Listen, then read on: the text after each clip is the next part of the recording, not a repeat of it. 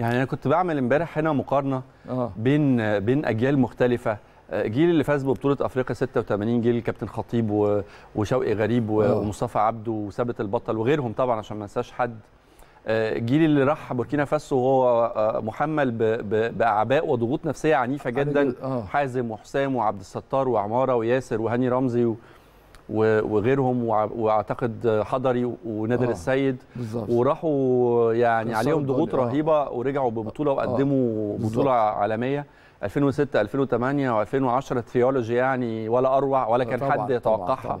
وأداء إحنا- بره وجوه على آه. أرضك وبره أرضك يعني في 10 ابهر سنين ال- 10 سنين فارق ما بين بعد كده مفيش بقى الصورة الجمالية الرائعة آه، آه، مميزة آه. جدا وأجيال مع إنه الجيل ده على مستوى مثلا اللعيبة المحترفة يعني إحنا. كان عندنا آه، لعيبة محترفين كان عندنا زيدان مثلا وهاني رمزي آه. وأحمد حسن بس ما كانوش مثلا على مستوى آه، ليفربول بخبرات صلاح لا، لا. وال Champions League ودوري. إنجلترا أو أرسنال أو أو غيرهم يعني ليه ليه الجيل ده ما عندوش نفس الحالة أو ما عندوش نفس ال- هتيجي الروح هتيجي. هتيجي, آه يعني هو طبعا ال- الحالة دي هتيجي طبعا لازم ناخد بالنا إن برضو آه، الغياب عدم التجمعات قدر كافي آه، منتخب ما بيلعبش مباريات تجريبية نهائيا. آه.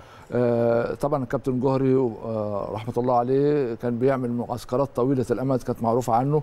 الكابتن حسن شحاتة يعني آه، آه، كان واخد يعني واخد تشانس عالي جدا في إعداد المنتخب عشان كده حقق ثلاث بطولات. متتاليه يعني إنما ال- الجيل الحالي مع الكابتن حسام البدري أو غير حسام أجيري ما هو فشل أيوه آه، كوبر يعني دوبك عمل وصل دور قبل نهائي آه، حتى كوبر آه. لما وصل نهائي بطوله أفريقيا الكاميرون ووصل لكأس عالم الناس برضو ما كانتش راضية على المنتخب بت- بتيجي في حتة معينة ويحصل دروب. جامد قوي فطبعا يعني هتيجي الحالة ال- الاجاده لما الأمور تستقر شوية آه، كورونا آه، يعني اللي مأثرة على الدنيا كلها ومأثرة على أنديتنا حتى أيوه آه، هتيجي وهتوصل للمنتخب يحس يعني يطلع من عنده لعيبتنا تحس بأهمية هذا المنتخب. وتحس قد إيه الجماهير وإن كانتش موجودة في المدرجات أنا بقلبها معاهم في كل لحظة.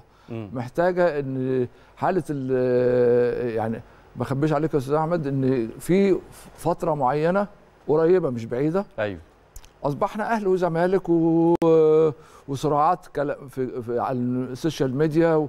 ونسينا منتخب مصر خالص. مم. نسينا في هذه المرحله من سنة أو اتنين. يعني الله يجازي اللي كان السبب بقى.